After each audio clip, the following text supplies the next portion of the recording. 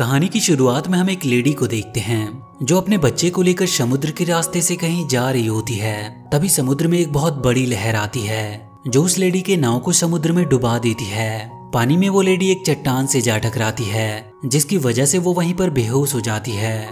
और जब उसे होश आता है तो वो अपने आप को समुद्र के किनारे पाती है, जहाँ पर उसका बच्चा रो रहा होता है। उसके बच्चे का नाम कोबो था, जिसकी एक आँख को उसके नाना मून किंग ने निकाल लिया था। और वो उसकी दूसरी आँख भी निकालना चाहते थे, इसीलिए उसकी मॉम उसे लेकर कहीं दूर भाग रही थी। इसके बाद ये कहानी आगे बढ़ती है और हम कुबो को देखते हैं जो अब काफ़ी बड़ा हो गया था। वो अपनी मॉम को खाना बनाकर खिलाता है और उनका काफ़ी ध्यान रखता है, क्योंकि उसकी मॉम काफ़ी बीमार थी और इसके बाद कुबो कागज़ के कुछ खिलौने बनाता है और उसे लेकर पास के गाँव में जाता है, जहाँ पर वो उन खिलौनों की मदद से उन सभी गाँव वालों को एक कहानी सुनाता है। उसके पास एक जादुई वायलिन थी। दरअसल कुबो एक स्टोरी टेलर था, जिसकी कहानी गाँव वाले बड़ी दिलचस्पी के साथ सुनते थे। कहानी में कुबो सभी को बताता है कि बहुत समय पहले एक सामुराई योद्धा था, जो काफ़ी अकेला रहता था, क्योंकि उसके परिवार वाले और सेना को मून किंग ने धोखे से मार दिया था। वो अकेले ही एक पावरफुल शास्त्र की तलाश में निकल पड़ा, क्योंकि उस शास्त्र की मदद से ही मून किंग का सामना किया जा सकता था। उस शास्त्र में था एक ना टूटने वाली तलवार, और दूसरी एक सुरक्षा कवच, और तीसरी एक हेलमेट। लेकिन इससे पहले कि सामुराई योद्धा उन तीनों शास्त्रों को हासिल करता, मून किंग के मॉन्स्टर ने उस पर हमला कर दिया। ये कहानी सुनाते सुनाते शाम हो जाती है तो कुबो उस कहानी का अंत किए बिना ही वहाँ से अपने घर चला जाता है। शाम होते ही उसकी मॉम नॉर्मल हो जाती है, और उसके बाद वो दोनों साथ में खाना खाते हैं। वहीं पर उसकी मॉम कुबो को उसके डैड हैंजो की कहानी सुनाती है। कहानी सुनने के बाद कुबो अपने डैड के बारे में जब अपनी मॉम से पूछता है तो वो उसे बताती है कि उसके पिता एक बहुत ही बहादुर योद्धा थे, जो उससे बहुत प्यार करते थे। उसके डैड उन्हें ही बचाते बचाते मारे गए। इसके बाद कुबो की मॉम उसे बताती है कि तुम्हारे नाना और तुम्हारे मौसी ने तुम्हारी एक आँख चुरा ली थी, और अब वो तुम्हारी दूसरी आँख भी चुराना चाहते हैं। इसीलिए तुम्हें रात में कभी भी बाहर नहीं निकलना है, नहीं तो तुम्हारे नाना तुम्हें ढूंढ लेंगे, और तुम्हें मुझसे दूर ले जाएँगे। इसके बाद उसकी मोम उसे एक मंकी टॉय दिखाती है और कहती है कि इसे हमेशा तुम अपने पास ही रखना। रात काफ़ी ज़्यादा होने पर वो दोनों सो जाते हैं। अगली सुबह कुबो एक बार फिर से पास के मार्केट में पहुँचता है, जहाँ पर उसे कामेयो नाम की एक बुढ़िया मिलती है। वो बुढ़िया कुबो को बताती है कि आज एक बहुत ही खास त्योहार है। आज हम लैंप की मदद से उन लोगों से बात करते हैं जो इस दुनिया से चले गए। कुबो जब ये बात सुनता है तो काफ़ी खुश होता है और वो एक कागज़ का लालटेन लेकर अपने डैड के कब्र पर जाता है और अपने डैड से बात करने की कोशिश करता है। लेकिन वो देखता है कि सभी की लालटेन बात करते हुए जल जाती है, लेकिन कुबो की लालटेन नहीं जलती।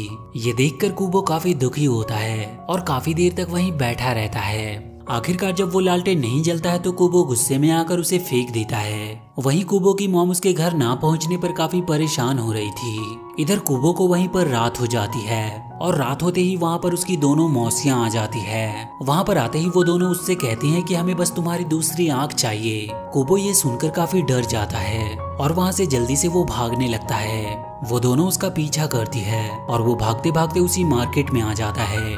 लेकिन इससे पहले कि वो दोनों कुबो को कोई नुकसान पहुंचाती, वहाँ पर उसकी मॉम आ जाती है। जो अपने जादू की मदद से अपनी बहनों को वहाँ से दूर कर देती है। इसके बाद वो कुबो को अपना वो शस्त्र ढूँढने को कहती है। जिससे उसके नाना का सामना किया जा सकता था और वो उसे अपने जादू की मदद से उड़ा देती है। वो वहाँ से जाना तो नहीं चाहता था, लेकिन अपनी मोम की बात मानते हुए कुबो वहाँ से चला जाता है और अपने साथ में अपनी मोम का एक बाल भी ले जाता है। कुबो के वहाँ से जाते ही उसकी दोनों मौसियाँ कुबो की मोम को मार देती है।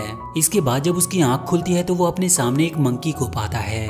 मंकी कुबो को बताता है कि तुम्हारी मोम मारी गई और उसका पूरा गाँव तबाह हो गया और तुम्हारी दोनों मौसियाँ तुम्हें ढूंढ रही है। और वो उससे कहता है कि इससे पहले कि शाम हो हमें छिपने का कोई स्थान ढूंढना होगा, और इसके बाद वो मंकी कुबो को अपने साथ लेकर वहाँ से निकल जाता है। रास्ते में उन्हें मरी हुई एक बहुत बड़ी सी मछली दिखाई देती है, और वो दोनों उसी में छिपकर पूरी रात बिताते हैं। कुबो को कुछ भी समझ में नहीं आ रहा था कि उसके साथ क्या हो रहा है, और उसके साथ ये मंकी कौन है। तो मंकी कुबो को बताता है कि मैं वही मंकी हूँ जो खिलौने के रूप में तुम्हारे साथ था।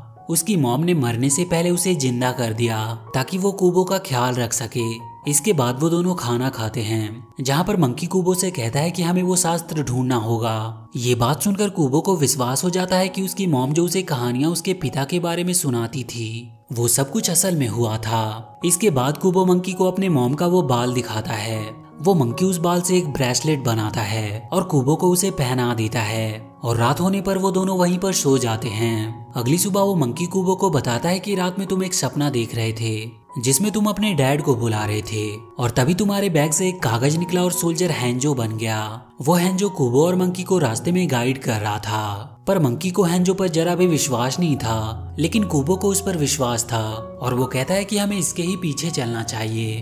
रास्ते में कुबो अपने मैजिक की मदद से मंकी को काफ़ी परेशान कर रहा था, और वहीं थोड़ी दूर में उन्हें एक घर दिखाई देता है। जिसके अंदर जाते ही कुबो चीखने लगता है। उसकी आवाज़ सुनकर मंकी उसके पीछे आता है। और वहाँ पर वो बीटल नाम के एक सोल्जर को देखता है। उसे लगता है कि बीटल कुबो को मारने की कोशिश कर रहा है। लेकिन कुबो मंकी को बताता है कि बीटल तो उस कागज़ के हैंजो को लेने की कोशिश कर रहा था। इसके बाद वो दोनों उस बीटल के बारे में पूछते हैं, पर वो उन्हें कुछ भी बता नहीं पाता, क्योंकि उसे अपने बारे में कुछ याद ही नहीं था। उसे कुछ साल पहले श्राप दिया गया था, और उसे लगता है कि हैंजो ही उसका मालिक है। इसके बाद वो अपने कबीले का एक चोगा दिखाता है जिस पर ठीक वैसा ही कीड़ा बना होता है जैसा कि कुबो के कपड़े पर था। यहाँ पर कुबो मंकी को बताता है कि हैंजो उसके पिता थे, और ये चोगा भी उसके पिता की ही है। बीटल, ये बात सुनकर काफ़ी खुश होता है कि उसके मालिक का बेटा मिल गया। वो कुबो से कहता है कि अब से तुम्हारा काम मेरा है और वो तीनों उस शास्त्र की तलाश में निकल पड़ते हैं। रास्ते में उन्हें एक स्कल की गुफा दिखाई देती है,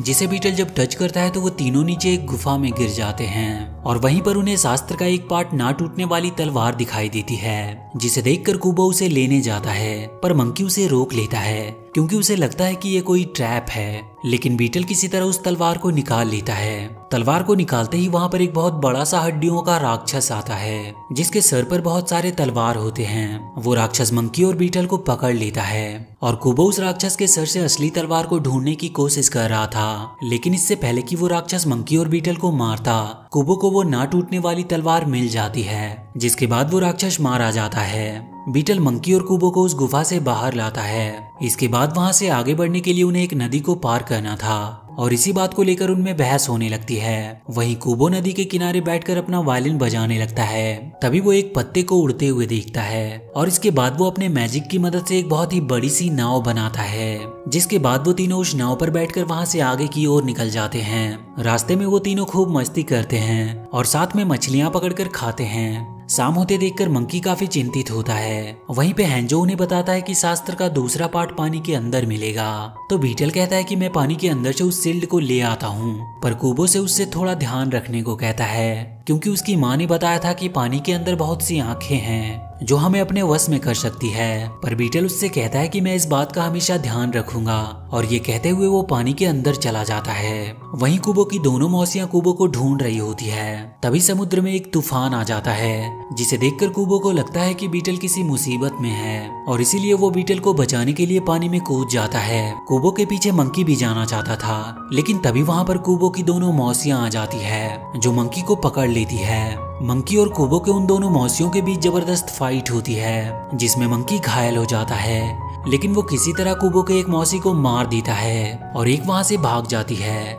इधर पानी के अंदर कुबो को वो सिल्ड मिल जाता है, लेकिन वो वहाँ के जादुई आँखों के वश में हो गया था। वो जादुई आँखें कुबो को पानी के अंदर खींचने लगती है। वही कुबो एक सपना देखता है जिसमें उसे पता चलता है कि मंकी के अंदर उसके मॉम की आत्मा है, और इससे पहले कि वो आँखें कुबो को पानी में खींचती, तभी वहाँ पर बीटल आ जाता है। जो उन आँखों को मारकर कुबो को वहाँ से बचाकर बाहर ले आता है। वहीं कुबो जब मंकी को देखता है तो उसे अपने गले से लगा लेता है। दरअसल अब उसे पता चल गया था कि मंकी ही उसकी मॉम है। इसके बाद वो सभी रात एक गुफा में बिताते हैं। वहाँ पर कुबो अपनी मॉम मंकी को एक कहानी सुनाने को कहता है कि किस प्रकार वो उसके डैड से मिली थी। इस पर मंकी कुबो को बताता है कि उसके नाना मून किंग ने उन्हें बताया था। कि उन तीनों शास्त्रों को जो भी हासिल करेगा, वो काफ़ी शक्तिशाली बन जाएगा, जो उनके लिए खतरा हो सकता है। और इसीलिए मैं हैंजो को रोकने के लिए अपने दोनों बहनों से पहले ही पहुँच गई। हैंजो और मेरे बीच में फाइट होने लगी, लेकिन फाइट के बीच में ही हैंजो रुक गया और मेरी आँखों में देखने लगा। और इस प्रकार हम दोनों में प्यार हो गया। और कुछ दिन बाद तुम पैदा हुए। लेकिन जब ये बात मेरे पिता को पता चली तो उन्होंने मेरी गद्दारी के बदले में मुझे और तुम्हारे डैड को मारने के लिए हम पर हमला कर दिया।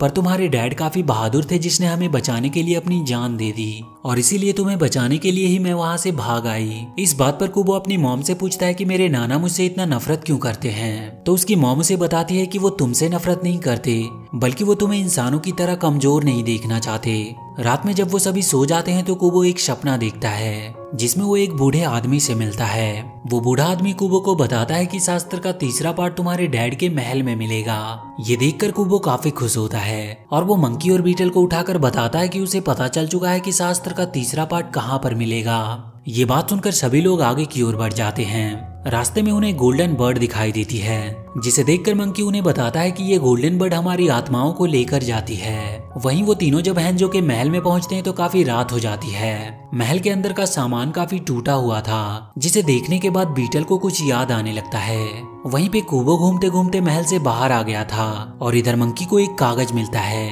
जिससे उसे पता चल जाता है कि शास्त्र का तीसरा पार्ट वो हेलमेट कहाँ पर है, और उसे ये भी पता चल जाती है कि ये सब मून किंग की ही चाल थी। उन्हें वहाँ पर लाने के लिए। इधर जादुई स्मोक कुबो को पकड़ लेती है। ये देखकर बीटल और मंकी कुबो को छुड़ाने की कोशिश करते हैं। लेकिन वो भी उस जादुई स्मोक के द्वारा पकड़े जाते हैं। तभी वहाँ पर कुबो की मौसी आती है और वो उन्हें बताती है कि बीटल ही हैंजो है, वो बीटल को मारकर वहाँ से दूर फेंक देती है। इसके बाद जब वो कुबो की दूसरी आँख निकालने जाती है तो कुबो उस पर हमला कर देता है, जिससे उसकी मोम आज़ाद हो जाती है और वो अपनी बहन पर हमला कर देती है। उसकी बहन उसे काफ़ी ज़्यादा घायल कर देती है और जैसे ही वो उसे मारने के लिए जाती है, वहाँ पर हैंजो आकर उसे मार देता है, जिससे वो वहाँ से दूर जाकर गिरती है। कुबो अपने मॉम और डैड से मिलकर काफ़ी खुश होता है, पर तभी वहाँ पर उसकी मौसी फिर से आ जाती है और वो हैंजो को मार देती है। कुबो की मॉम उसे वहाँ से जाने को कहती है तो कुबो वहाँ से जाकर अपने जादू की मदद से अपनी मौसी को मार देता है। लेकिन इसके बाद वो काफ़ी दुखी होता है,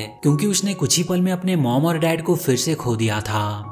वहाँ पर उसे वही कागज़ मिलता है जिसमें हेलमेट का चित्र बना था। ये देखकर कुबो उठता है और सीधा उस हेलमेट को लेने के लिए उसके पास जाता है। वो हेलमेट कहीं और नहीं, बल्कि उसके गाँव में ही था। कुबो जैसे ही उस हेलमेट को पहनने जाता है, वहाँ पर गाँव वाले आ जाते हैं। वो उन गाँव वालों से कहता है कि आप लोग यहाँ से चले जाओ, क्योंकि वहाँ पर मून किंग आने वाला है। इसके बाद कुबो उस हेलमेट को पहन लेता है, जिससे उसका वो शास्त्र पूरा हो जाता है। और थोड़ी ही देर में वहाँ पर उसके नाना मून किंग भी आ जाते हैं। अपने नाना को देखकर कुबो उनसे पूछता है कि आप मेरी आँख को क्यों लेना चाहते हो? तो उसके नाना उसे बताते हैं कि जब तक तुम्हारे पास ये आँख है, तुम मेरे साथ स्वर्ग में नहीं आ सकते, और तुम इसी आँख से दुनिया के दुख दर्द को देखते रहोगे। मैं तुम्हें इससे दूर अपनी दुनिया में ले जाना चाहता हूँ, जहाँ पे दुख और दर्द का कोई नामो निशान नहीं है, और तुम वहाँ पर अमर हो जाओगे। इस पर कुबो कहता है कि तुम झूठ बोल रहे हो, क्योंकि हर एक कहानी का अंत होता है, और एक ना एक दिन हम सबका भी अंत हो जाएगा। मैं तुम्हें मारकर इस कहानी का अंत कर दूँगा। ये बात सुनकर कुबो के नाना एक बहुत ही बड़े ड्रैगन में बदल जाते हैं और वो उस पर हमला कर देते हैं। कुबो अपनी तलवार की मदद से उनका सामना करता है और उस तलवार से उनकी एक आग को फोड़ देता है। कुबो के नाना इससे काफ़ी ज़्यादा गुस्सा होते हैं और उसे अपनी पूछ से मारकर दूर फेंक देते हैं। वो जैसे ही दोबारा से लड़ने के लिए उस तलवार को उठाता है, उसे अपनी मोम और डैड का आखिरी निशानी दिखाई देता है, जिसे लेकर वो उस तलवार और शिल्ड को फेंक देता है। इसके बाद वो अपने वायलिन को ठीक करके उसे बजाता है। वायलिन के बजाते ही सभी लैंप की आत्मा वहाँ से बाहर निकलकर कुबो के पास आ जाती है। गाँव वाले ये सब देखकर काफ़ी हैरान थे। वहाँ पर कुबो अपने नाना से कहता है कि इनकी यादें हमें शक्तिशाली बनाती है।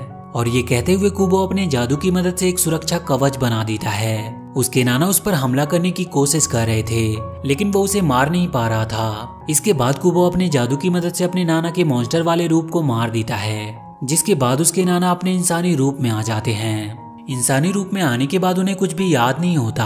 कुबो जाकर उनसे कहता है कि आप मेरे नाना हो, और सारे गाँव वाले भी वहाँ पर आ जाते हैं, जो उसके नाना से कहते हैं कि आप बहुत ही अच्छे और एक दयालु इंसान हो। ये कहते हुए सभी लोग उसके नाना की एक नई लाइफ की शुरुआत करते हैं, जिससे कुबो और सभी लोग काफ़ी खुश थे, और इसी के साथ ये कहानी यहीं पर खत्म हो जाती है। तो वीडियो अगर अच्छी लगी हो तो please do like and share the video and please subscribe to my channel and press that bell icon